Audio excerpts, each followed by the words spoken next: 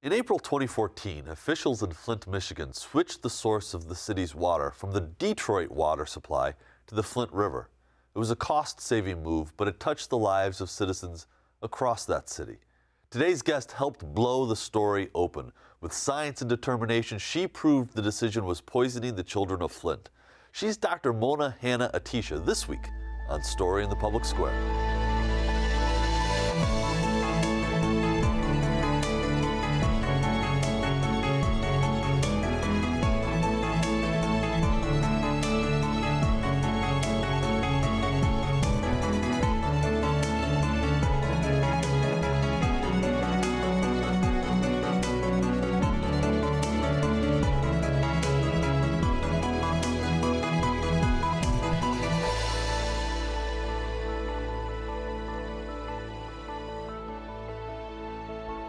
Hello and welcome to A Story in the Public Square, where storytelling meets public affairs. I'm Jim Ludes from the Pell Center at Salve Regina University. Alongside me is my friend and co-host G. Wayne Miller of the Providence Journal.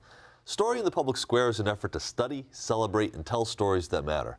To do that, we sit down every week with the best storytellers around, authors, journalists, filmmakers, and more, to make sense of the big stories shaping public life in the United States today. To help us this week, we're joined by Dr. Mona Hanna-Attisha the crusading pediatrician in Flint, Michigan, who helped confirm the city's water crisis. She's written about it in her book, What the Eyes Don't See.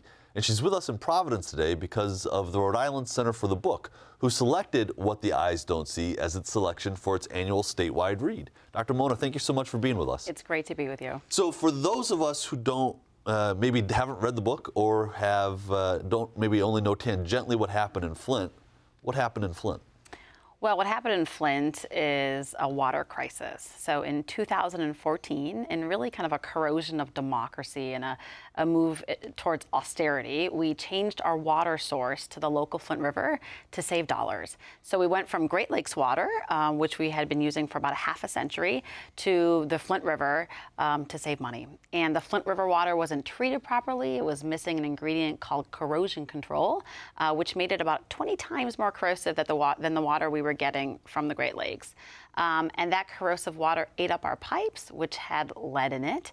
Um, the lead began to flow into our drinking water and into the bodies of our children for about 18 months. How did you find yourself in the middle of all this? Um, a lot of my kind of involvement happened by serendipity. Um, so I happened to be um, home with a high school girlfriend who, of all things, was a drinking water expert. We've been friends for about 20 years, and our kids were running around and playing together, um, having a glass of wine. And she's like, "Hey, Mona, um, have you heard about what's going on in Flint's water?" And I'm like, "You know, I've heard about what my patients are concerned about and what I hear in the local media: color and odor and taste and bacteria. And I've also been heard, hearing a lot of reassurance from state officials that the water is okay. Um, and she's the one that shared with me that the water wasn't being treated with this important ingredient. And because of that, there would be lead in the water. Um, and from that very moment, you know, my life really changed um, because when a pediatrician hears the word lead, it, it's a call to action. Well, so why is lead so bad? Lead is probably the world's most well studied um, neurotoxins. We've known what lead has done for centuries. It is potent, it's irreversible, it's a poison. Uh, incredible science over the last few decades has gotten us to the point of recognizing that there is no safe level of lead in a child.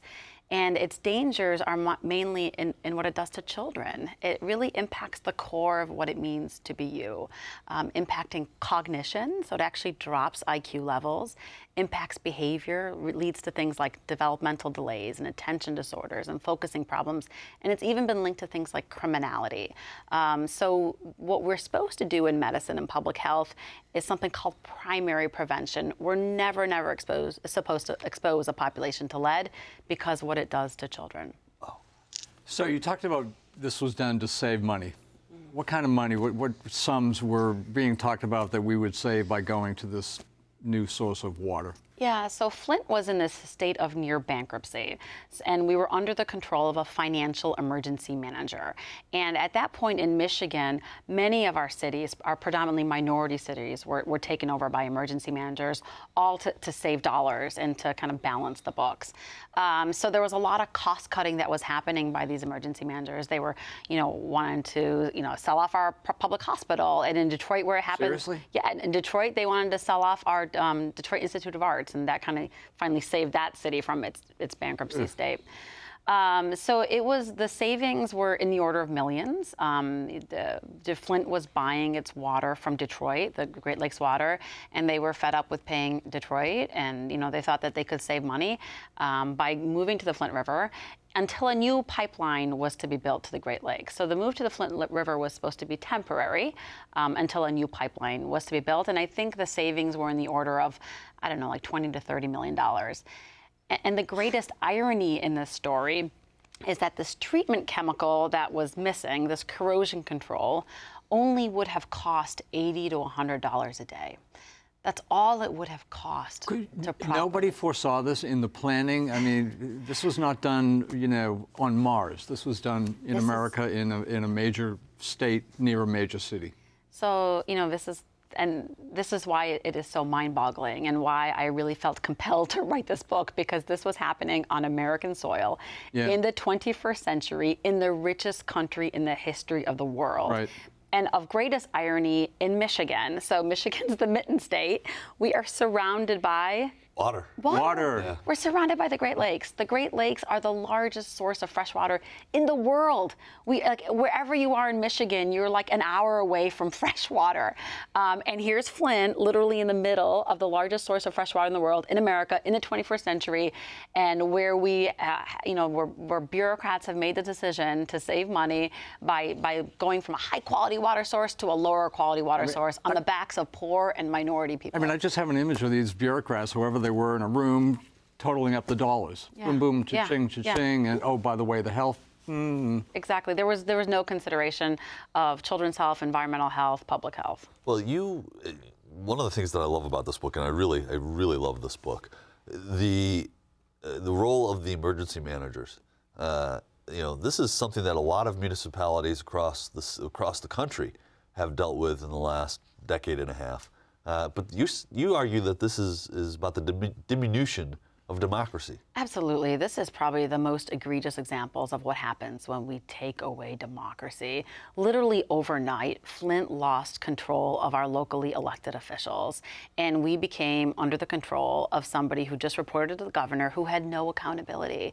Um, and that's why this story is not an isolated story. It really speaks to what's happening across our nation in regards to the breakdown of democracy. This is no different than efforts at as, as voter suppression and gerrymandering and mass incarceration. These are all different ways that democracy is being taken away from some of our most vulnerable um, citizens. And as you said, we're the richest society in the history of our species. It's, it's words fail me. So how did you get involved writing about it? You're a pediatrician by training. Had you done any writing before? Or, or... So, by the way, pediatricians along with primary care people are like sacred. Uh, seriously, they're, they're like, you know, in terms of healthcare, they are the most important pieces, I think. It is a privilege to be a pediatrician. I absolutely wake up every day and I pinch myself to be able to care for, for my kids in Flint. And it's, it's, it's a wonderful, wonderful profession yeah. um, where you can do a lot of science and service, but a lot of advocacy. Advocacy is very much part of our role. And a lot of prevention, as you said. Prevention. It's, a critical piece of this. our work is embedded in public health. It's, yeah. you know, it's not as much about the kid in front of me today, but it's really about the promise and the potential of that child. What's going to happen to that kid in 5, 10, 15 years? That young brain that's getting poisoned by lead that will never be the adult brain it could be. Exactly, because what was happening in our water was really threatening the tomorrows of all of our children. Um, so, you know, as to being a writer, so I grew up a reader. Um, I always kind of devoured books as a child. Uh, reading was really kind of the, the religion of my family, um, being being well read. Um, I was the publisher of our high school paper. I, I, I literally publisher, but not editor. But, but, uh, maybe it was editor slash publisher. I don't remember. I like publishers, so, so don't yeah, get me yeah, wrong here. so um, uh, went on to college, and you know, I actually my undergrad major was more like environmental science. I started out as like an environmental activist, organizer. Um, really started to understand the connections between environment and health, um, but then really also got immersed in creative writing classes. Um, stayed another year in college really to take fun things, fun classes like creative writing. Yeah. Um, so, so you know, reading and writing have always been a passion, and I strongly believe um, that no matter what profession you go into, you need to be a good writer. Talk to us, if you can, about the the title of the book, "What the Eyes Don't See." So when I first started reading the book, I'm like, I, I don't, I'm not sure what this is. Yeah. But you very quickly explain that really is a central theme to mm-hmm. to to the book, but I think more to the way you approach medicine too. Absolutely. So, what the eyes don't see means many different things, and I, I'm- look forward to readers kind of digesting it on their own and finding the many, many kind of themes that, of of that title. Um, so, uh, first and foremost, it means the quite literal. So, we don't see lead in water. It's invisible. It's odorless. It's tasteless. If you remember those pictures from Flint, that kind of brown water, yellow water. Oh, yeah. That that was from iron corrosion because the iron pipes were also corroding, and that gave you that rust-colored water. But but lead in water is is invisible. We don't see it. Um, we also don't see the effects of lead. Um, you know, back in the day when when we had lead in paint and gasoline, children were presenting to our ERs with seizures and coma and, and could acutely die from acute lead poisoning And a lot of that came from paint. Oh, from paint and gasoline. And gasoline, Um, yeah. But the, we don't see those high levels anymore. What we see right now is something called a silent pediatric epidemic. It's asymptomatic. Children, people think like, oh, you've figured this out because kids were coming to your clinic, right, with problems. Um, no, that's not what was happening because the symptoms of lead exposure are asymptomatic. They're subclinical, which actually makes it more dangerous. Like I wish kids would present with like glow in the dark spots, then we know that they're exposed to lead and we could do something about it. But unfortunately, it's it's asymptomatic. So we it's it's a silent. We don't see the consequences of lead exposure, if not years or decades or, or generations later, um, which makes it so much more harmful. Um, in addition the title really the first time i heard that title was when i was a, a doctor in training when i was a pediatric resident and one of my supervising doctors um, an, an attending in our intensive care unit would really drill us um, at, at the bedside especially if we couldn't figure out a diagnosis. And he would always say the eyes don't see what the mind doesn't know and it's a it's a D.H. Lawrence distillation, um, really telling us and reminding us that hey, we need to read more. Um, you need to study because you're not going to diagnose something or pick up something if if you don't even know that it exists. And that kind of speaks to my blindness because I never even knew about the possibility that lead could be in water, um, which really shows how kind of eyes closed I was because the word lead actually means plumbing. Um, lead comes from the Latin PB, which comes from plumbum, which means plumbing. So, so the word lead actually means plumbing. Um, but the, the bigger meaning of this title, What the Eyes Don't See, um, it goes way beyond Flint. It is about people and places and problems that we choose not to see. Um, and it is really, I hope, I hope that this book is a rallying cry for all of us to open our eyes. Um, but it is not enough to be awake. It, it is more important to act um, to, to, towards the injustices that are happening all around us. We're going to get into that a little bit further in, but you were one of the first to sound an alarm here. What was the reaction when you publicly brought attention to this? Yeah, so I was actually kind of um, late in the story. So the water crisis had been going on for like a year and a half, um, and I, I, think of it like a series of dominoes. Like the the heroic and brave people of Flint, they knew something was wrong, and they were loud and organized. And then there was really incredible journalists who were on the story. And a- it, it was known that it was lead. no, no, they didn't It know it was lead. okay. They knew that there was something going on. Something was going on, but we weren't sure what. Right, and um, Something not right, but something not we don't know right. what I mean, like right. just a few months after we switched our water source, General Motors, which was born in Flint Yeah. and still has plants in Flint, noticed that this water was corroding their engine parts, and they were allowed to go back to Great Lakes Water. That's a tell. That's a tell. That's a Or red flag. That, that is like alarm bells, sirens should have gone off. That should have been the end of this crisis.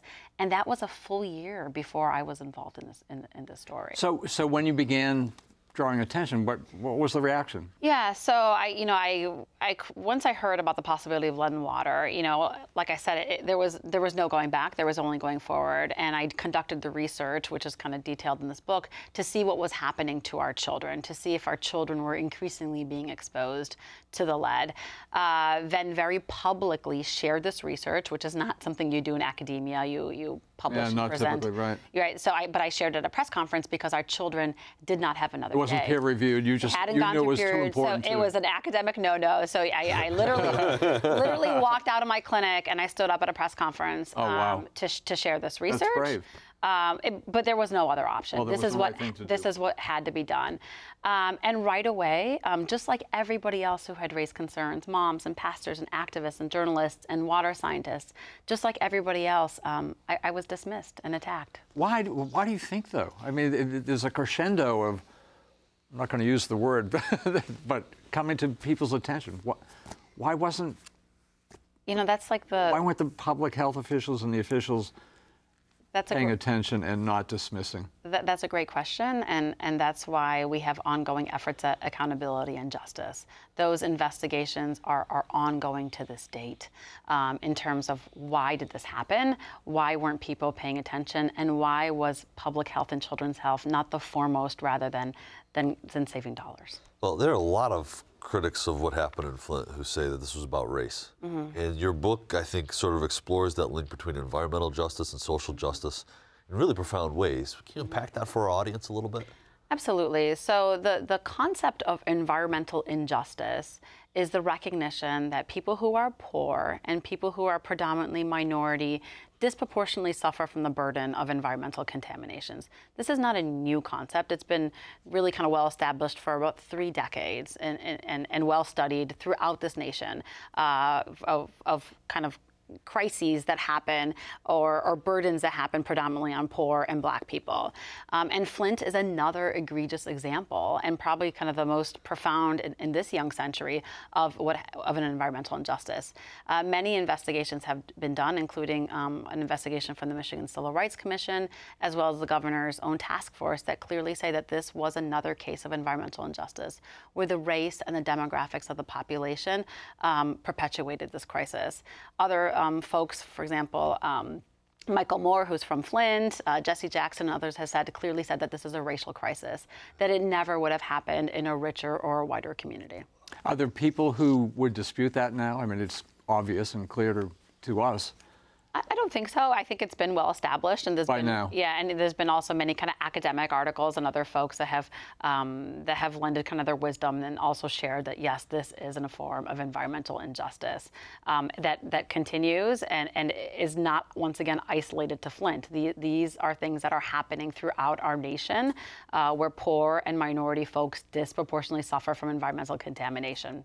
That's because of the zip codes where they live and, and the legacy of, of industry in certain areas. And is Yeah, that? I think a kind of lack of political voice, um, industry's ability to manipulate those communities, um, and to, for example, put polluting factories or what have you in those environments. Um, so it, it goes back to the title of What the Eyes Don't See. These are populations that we choose not to see and thus choose not to value, and they disproportionately suffer from these things. Wh- Where does your personal sense of justice and injustice come from? Yeah, so I think if you if you pick up this book um, and you think it's a Flint book, I think you'll be taken aback because it's not just a Flint book. Um, you know, this book weaves very much my kind of my personal story and my family history, and I felt that it was important for the readers to to know who I am, um, to understand that what I do and why I do it is really rooted in my deep kind of family upbringing and, and sense of justice.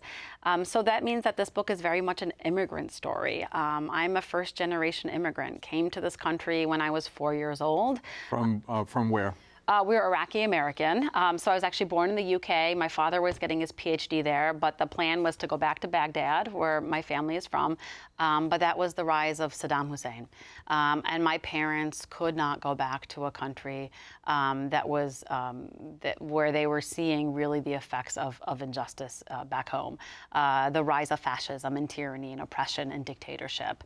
Um, so my parents decided to move to the States, and we, we came to this country for what everybody comes to this country for as immigrants for freedom and opportunity and democracy, for that American dream. And I absolutely wake up every single day fortunate um, to be a recipient of that American dream, um, but also acutely aware of what injustice can be. And my parents never shielded me from what was happening back home. Um, I acutely remember, um, and this is described in the book, um, I think I was 11 or 12, 12 years old, and my father um, was trying to kind of devour anything that was in the news about Iraq, and, and there was not much in the news at that time. And he would have memberships and subscriptions to like Amnesty International and Human Rights Watch, and he shared with me a picture from the massacre in Halabja. If you remember, in northern Iraq, Saddam Hussein poisoned an entire village of his own people, a Kurdish population. 5,000 people died that day. And he showed me this picture of this beautiful baby girl wrapped in a pink blanket with her father, both of them dead on the street. Um, that is kind of the milieu of how I grew up, um, recognizing that people in power um, can do terrible things to populations that they don't, they don't. Boy, is that not true historically and today as well. There's another major issue that Flint brings to the surface and you, and you write about and would like you to talk about too, and that's the infrastructure of this country today. Yeah. Water supplies, bridges, roads, railroads. We can go through a litany of, I mean, just drive anywhere, basically. Absolutely. So um, that is why this story is also not an isolated to Flint story, because it also very much speaks to the disintegration of our critical infrastructure due to inequality and austerity. We think that our roads and our bridges are bad. What's underneath is is even worse and has not had significant investment. Um, specifically in regards to lead in our plumbing, um, it, it, it's even hard to believe that we actually have a neurotoxin delivering our drinking water throughout this country. Um, not until 1986 did we restrict the use of lead service lines, which are the pipes that go from the water main to the front yeah, of the yeah. house. But not until 2014 did we restrict the use of lead in fixtures and faucets. Well, a lot of those lead pipes are still there. I No, mean, they're still there. They're like everywhere still. They're, they're everywhere, especially in the Northeast and the Midwest, uh, in older cities. Um, I was in Philadelphia a few months ago, and they had a water main break. Uh, they dug up the water main. They're like, "Oh, this was installed when Calvin Coolidge was president." Um, so that is throughout our nation, and we really need um, massive investment in infrastructure. And I'm, I'm hopeful that this is something that that can be bipartisan supported and can then also reap the benefits of, of employment and other opportunities. So, uh, give us an update. What's the status of water in Flint now? Yeah, so Flint is is doing that infrastructure work, which is amazing. So for the 18 months that we were on this corrosive water that ate up our pipes, um, that damaged our pipes, and those pipes are being replaced right now, which is awesome. Uh, that will be done in a few months, and then we'll be the only the third city in the country that has replaced their lead service lines which is phenomenal. Um, but while we're doing that infrastructure, earth moving work, um, it requires people to remain on precautions with filtered water and bottled water because of the disruption that can happen in the lead scale uh, during that work. And, and that's why people are still on the precautions right now. You talked about the possibility of a bipartisan effort to rebuild the infrastructure. Do you think that's realistic now in this current climate? And we could describe in detail the current climate, but I think we know what the current climate is, where there aren't a lot of people necessarily, necessarily in Washington who are paying attention to that as opposed to uh, a wall. Yeah, you know, um, I think infrastructure, unlike things like immigration and healthcare, um, is something that, that both sides can agree is important for all their constituents. It's, it's something that constituents and, and communities all over need investment in.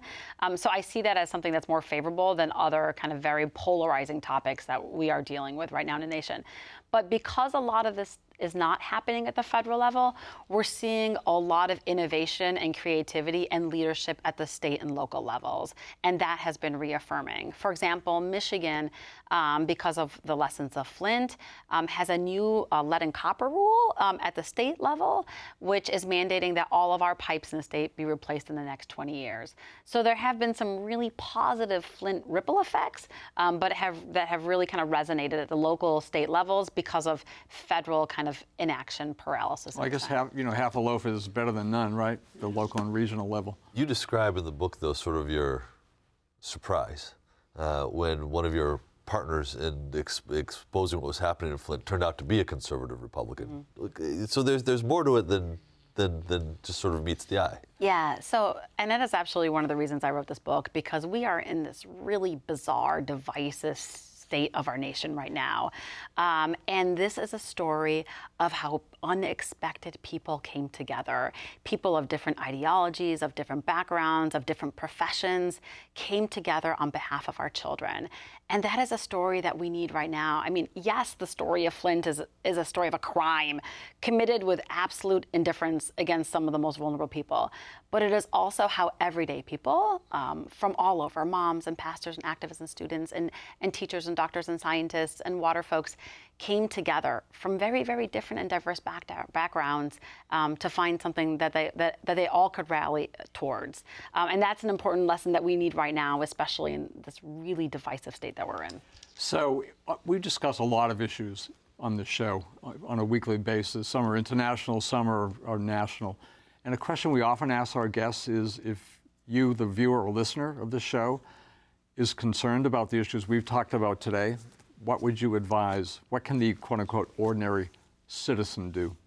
Yeah, so I, you know, this book is um, it's very much a Flint book. The story is very much kind of about what happened in Flint and, and kind of a call to action for all of us to kind of be aware and alert and recognize what's happening in our communities. And a lot of people go away and they're like, oh, I want to help Flint. And if you want to help Flint, great. You know, you could donate to our Flint Kids Fund, which is one of the reasons I wrote this book. Part of the proceeds go back to that, oh, that fund, flintkids.org. But, but by and large, I tell folks, you do not need to come to Flint. You do not need to help Flint. You just need to find something that, that you're passionate about Turn on the news. Every, there are injustices happening right around us. We cannot afford to have a society with their eyes closed and silent to the injustices.